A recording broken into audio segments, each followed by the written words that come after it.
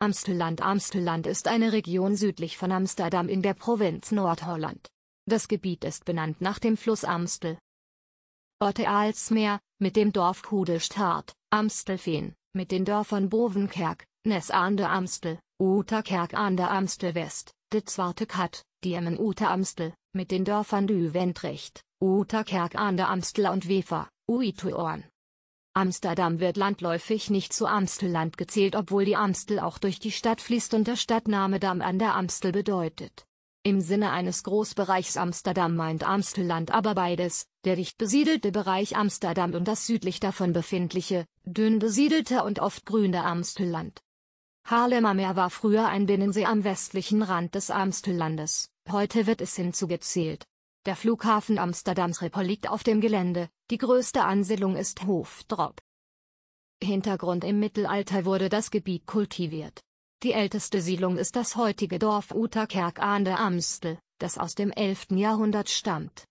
Im Lauf der Zeit begann die Bevölkerung vom Fluss her das Sumpfgebiet abzugraben, der gestochene Boden wurde zu Dorf verarbeitet und als Brennmaterial verwendet. So entstand wahrscheinlich zu Beginn des 13. JHS das Dorfgebiet, Fenn, westlich von Uterkerk mit der Torfstechersiedlung Amstelfehn. Mit dem Bau eines Damms in der Mündung der Amstel entwickelte sich im nördlichen Teil von Nieuwe Amstel das Fischerdorf Amstelredam, das um 1300 Stadtrechte erlangte. Das Dörfchen wuchs zur Stadt Amsteldam, die wegen ihrer Lage an der Zuiderzee immer wichtiger wurde und heute als Amsterdam die Hauptstadt der Niederlande ist. Das Gebiet der Amstel wurde aufgeteilt in Ute Amstel, rechtes Ufer, und Nieuwe Amstel, linkes Ufer. Amsterdam wurde selbstständig und begann die gesamte Umgebung zu dominieren. Während des Königreichs Holland war Amstelland der Name eines Departements. 1896 und 1921 wurden Teile von Nieuwe Amstel von der Stadt Amsterdam eingemeindet und an den Ufern der Amstel erschienen Wohngebiete. Südlich der Utrechter Brücke ist das Gelände an Fluss größtenteils unbebaut geblieben.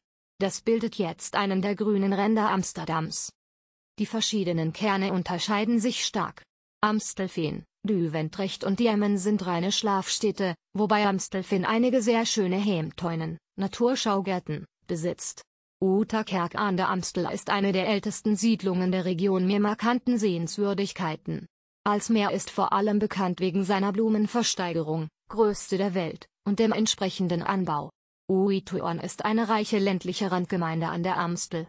Verbunden werden die verschiedenen Wohngebiete durch das Grüngebiet Amstelland, dem verbliebenen Grüngürtel. Mit dem Flugzeug direkt vor der Haustür von Amstelfinn und Aalsmeer liegt er. Von diesem aus fahren verschiedene Buslinien in die Region, und andere die Buslinie 300, die über Amstelfehn, Uterkerk an der Amstel, Biema die Südtangente Amsterdams abdeckt. Mit der Bahn alle Wege ins Amstelland führen mit der Bahn über Utrecht Zentral. Dort steigt man um in einen niederländischen Intercity oder einen Stopptrein in Richtung Amsterdam. Auf der Strecke gibt es einen Bahnhof in Amstelland, Düwendrecht, von dem es weiterführende Buslinien in die anderen Ortschaften der Region gibt. Auch vom Bahnhof Amsterdam wie immer fahren Buslinien in die Region. Amstelveen hat keinen eigenen Bahnhof. Mit dem Auto Amstelland ist wie Amsterdam zu erreichen. Ab dem Autobahnkreuz Audenrhein folgst du der A2. An der Abfahrt 2 Hohlendrecht kannst du über der A9 nach Amstelfinn und Aalsmeer kommen. Die Ausfahrt 1 der A2 führt direkt nach Uterkerk an der Amstel.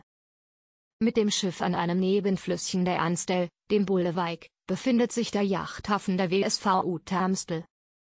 Mobilität Die Nähe zu Amsterdam beeinflusst das Verkehrsnetz von Amstelland, wobei die Verbindungen der verschiedenen Kerne untereinander eher mager ist.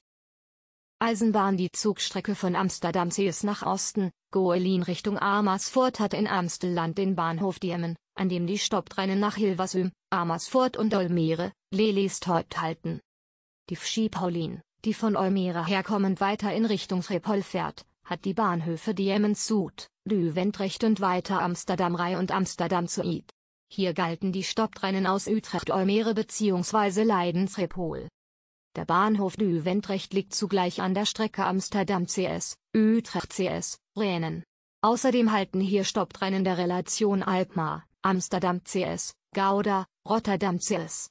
Düwendrecht ist auch ein Intercity-Halt für Züge aus Repol nach Hannover, Berlin, Stettin, nach Wolle, Groningen-Leeuwarden, nach Deventer, Enschede. Amsterdam Zuid ist ein wichtiger Umsteigebahnhof für die Metro Sneltram nach Amstelveen. Metro Sneltram 50 Gein, Reigersbos, Holendrecht, Bollewijk, Bielmar Arena, Strandlied, Düventrecht, Overamstel, Rei, Station Zuid, Amstelveen und weiter über Lelilan und Sloterdijk bis Isolatorweg. 51 vom Zentralstation über Weesperplein und Amstelstation, dann Sparklarweg, Overamstel, Reistation Zuid, über die de Börlelaan, Buitenveldert mit drei Stationen, weiter nach Amstelveen, Beneluxbahn, sechs Stationen bis Amstelveen Zentrum, dann weitere drei bis Marne, zuletzt durch das Viertel Middenhoven bis zum Viertel Westwijk, sieben Stationen. 53 vom Zentralstation über Weesperplein und Amstelstation, dann Sparklarweg, Van der Made weg, Düventrecht, Wenserpolder, Diemenzuid, Vereinsstuart weg, Ganzenhöf, Kraenest, Gasperplas. 54 vom Zentralstation über Weesperplein und Amstelstation, dann Sparklarweg, Van der Made weg, Düventrecht, Strandlied, Station Bielmar Arena, Bollewijk, Holendrecht, Reigersbos, Gein. Straßenbahn von Amsterdam CS aus fahren zwei Straßenbahnlinien nach Amstelland. 5 Zentralstation, Leit Septemberlein, Museumplein, Beethovenstraat, Zuid, Station Zuid, dann weiter über die Strecke der Snelltram 51 über de Börlelaan und Berneluxbahn bis Amstelveen Binnenhof. 9 Zentralstation, Rembrandtplein, Waterlooplein, Plantage Middenlaan, Lenausstraat, Oost, Middenweg, Watergrafsmeer, Diemen, Hartfeld so weg, Muiderstraat weg, Sneep. Mit dem Bus auch Buslinien in Amstelland sind in das Amsterdamer Verkehrsnetz integriert. 41 Muiderport Station, Düventrecht, Gasperplas. 44 Station Bielmar Arena, Station Diemen Zuid Station Diemen, Diemen Nord. 46 Buix Lottermeerplein, Nord, Station Diemen Zuid, Station Düventrecht, Station Bielmar Arena, Holendrecht MC. 126 Station Bielmar Arena, Bollewijk, Holendrecht MC, Abkaude, Mirecht. 136 Amstelstation, Diemen. 142 Zentralstation, Busstation Marnixstraat, Haarlemmermeer Station, Amstelveen, Middenhoven, Vilnius. 146 Station Bielmar Arena, Bollewijk, Uterkerk AD Amstel, Amstelveen, Oranjebahn, Grönelaan, Middenhoven, Vilnius. 165 Station Zuid, Buitenveldert, Beneluxbahn, Olympiadelan, Amstelveen, Busstation. 166 Station Zuid, De Braak, Amstelveen Busstation. 170 Zentralstation, Busstation Marnixstraat, Haarlemmermeer Station, Amstelveen, Middenhoven, Uithoorn. 171 Station Zuid, Amstelveen-Seweg, Amstelveen, Busstation, Bovenkerk, Aalsmeer. 172 Zentralstation, Busstation Marnixstraat, Haarlemmermeer Station, Amstelveen, Busstation, Westwijk, Kudestart. 175 Station Bielmar Arena, Bollewijk, Uterkerk AD Amstel, Amstelveen, Busstation, Bad Hövedorp, Haarlem NS. 199 Station Zuid, Rembrandtlaan, Amstelveen, Busstation, Warthäusen, Middenhoven, Westwijk, Bovenkerk, Zeltplatz Amsterdamse Bos, Station Trepol, Trepol zu EP30. Nachtbus vom Zentralaltstation fahren Montag bis Sonntag zwei Nachtbuslinien der Amsterdamer GVB nach Amstelland sowie drei Linien des Regionalbusunternehmens Connexion. 354 CS, Marnixstraat, Leit Septemberlein, Van Woostraat, Rooseveltlaan, Station Rei, Buitenfelder Zellan, Beneluxbahn, Amstelveen, Busstation, Grönelaan, Amstelveen, Warthäusen.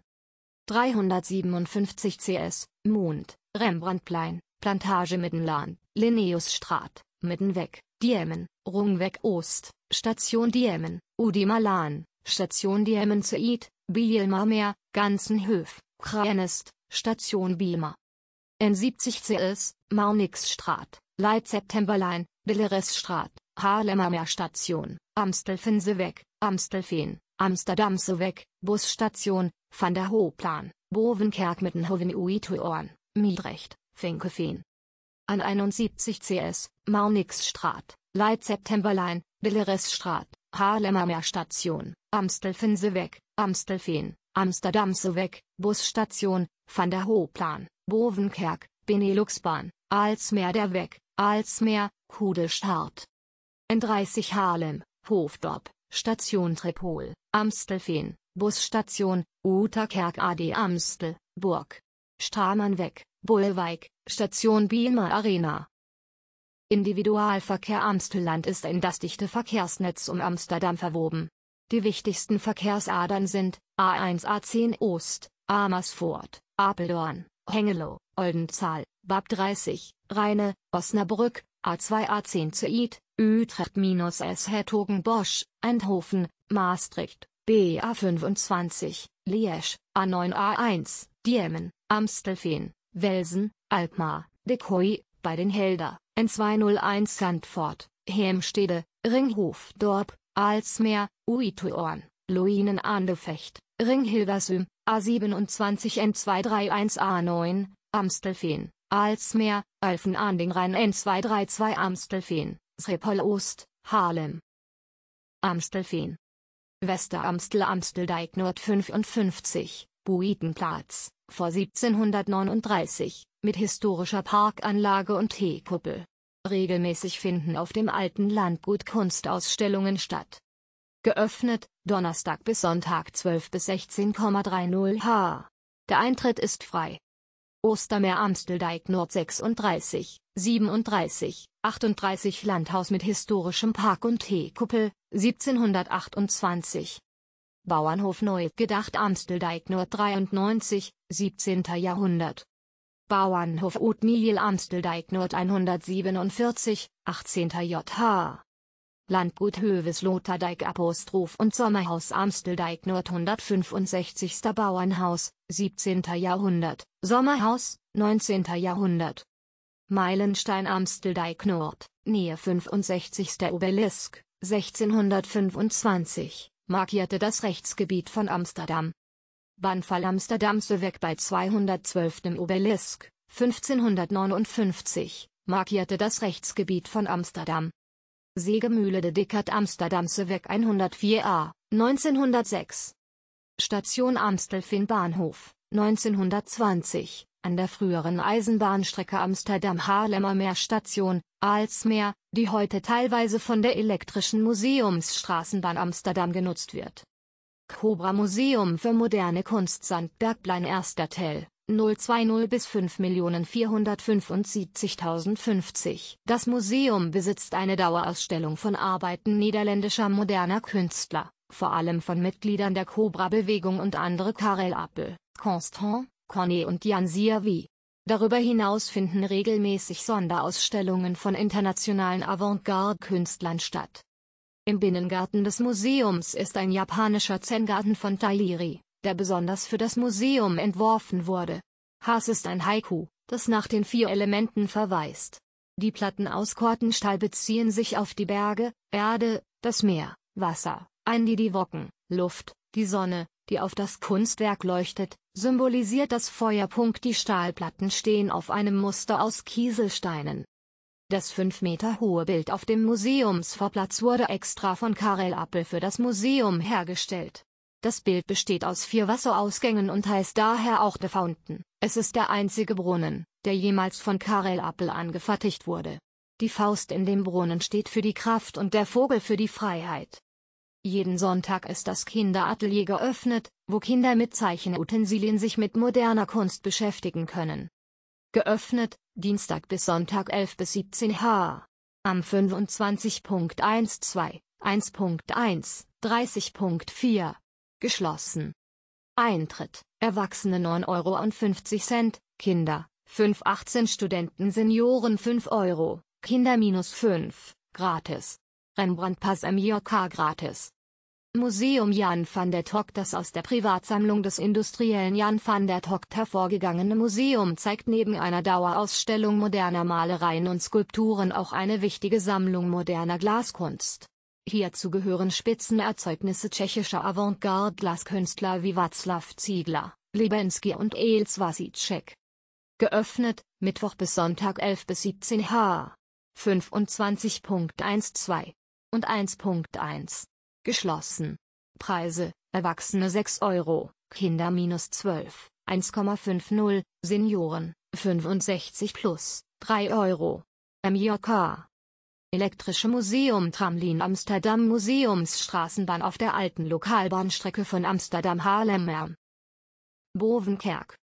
St. Urbanus Kerk Noordermelaan 126. von Bierköppers 1887 bis 88 entworfene Kirche mit anliegendem Pastorat.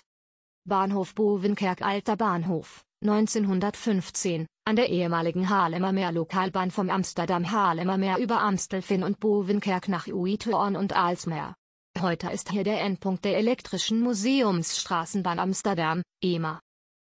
Ness an der Amstel St. Urbanus Amsteldijk zu 144. 1889 bis 91 von Josef Köppers entworfene Kirche mit Dienstwohnung des Pfarrers.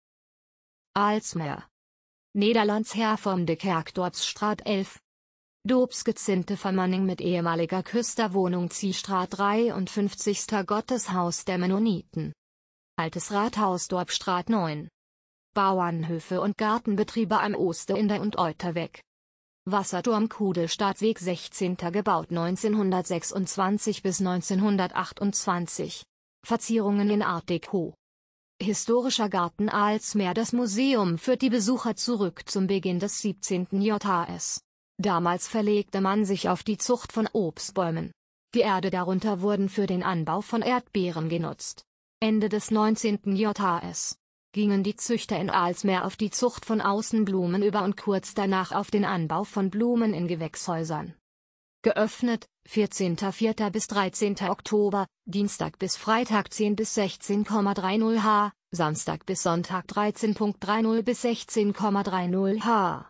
Preise, Erwachsene 3,50 Euro, Senioren, 65 plus, 3 Euro, Kinder minus 12, 1,75 Euro. MJK gratis. Kombikarte mit Bootsfahrt, Erwachsene 8,49 Euro, Kinder minus 12, 4,25 Euro. Nur Bootsfahrt Erwachsene 6,50 Euro, Kinder 3,25 Euro. Flora Holland Aalsmeer vom Besucherzentrum geht es über eine Galerie zum Versteigerungskomplex. Von dort blickt man in die Versteigerungshallen, wo die Blumen angeboten werden, wo die Bieter die Produkte zeigen und die Einkäufer von den Tribünen aus Geschäfte machen. Entlang der Route wird in vier Sprachen, UA auf Deutsch, der Verlauf der Versteigerung erklärt. Geöffnet, Montag bis Freitag 7 bis 11 J. Je früher man erscheint, desto besser ist es. Eintritt, Erwachsene 5 Euro, Kinder, 6 bis 11, 3 Euro, Kombikarte als mehr Erwachsene 12 Euro und 50 Cent, Kinder 7,25. Mit einer Kombikarte werden der Besuch der Versteigerung mit einem Spaziergang durch den historischen Garten und einer Rundfahrt von Aalsmeer aus über die Weste in der Plassen kombiniert. Das Angebot gilt nur Dienstag, Mittwoch, Freitag vom 17.04. bis 5. Oktober. Belezzi-Straat 28a. 1863 wurde die Mühle von ihrem ursprünglichen Standort ins Zentrum des Dorfs versetzt. Punkt, wo sie auf eine gemauerte Galerie gesetzt wurde. Bis ca. 1930 war sie in Betrieb, verfiel aber danach. Bis in die 70er Jahre wurde sie geregelt restauriert, verfiel aber auch wieder. Zuletzt war von ihr nicht mehr über als ein mit Plastikplane bedecktes Skelett. Die Stadt kaufte die Mühl 1994 und stellte sie wieder her. 1996 war die Mühle wieder betriebsfähig und dreht seitdem regelmäßig. In den beiden Mahlgängen wird vor allem Weizen gemahlen, der in der Mühl verkauft wird. Beleg kann die Plussa nachmittags besichtigt werden bzw. es können Mehlerzeugnisse gekauft werden. Für die Besichtigung muss ein kleiner Obolus gezahlt werden. Mühle Zwarte Rottermisterjag. Takade 10. ehemalige Poldermühle von 1778, die 1866 zur Kornmühle umgerüstet wurde. Nach 1919 wurden die Innereien größtenteils entfernt und bis on die 70er Jahre des 20. JHS verfiel der Schwarze Reiter zusehends. Erst 2002 wurden sie gerade gesetzt, seit 2007 dreht sie wieder ihre Flügel. Die Mühle wird bewohnt und kann nicht besichtigt werden. Strommeermolen Strommeerkade hundertster Diese Poldermühle entwässert den kombinierten Strom- und Hornmeerpolder. Die erste M.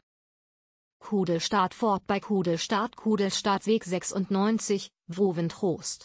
Fort mit Gräben und Erdwellen. Weitere Infos Stelling van Amsterdam. Uithoorn. Nederlands hervormde Kerk Amsteldijk Norderster auch Damerkerk genannter Bau von 1834.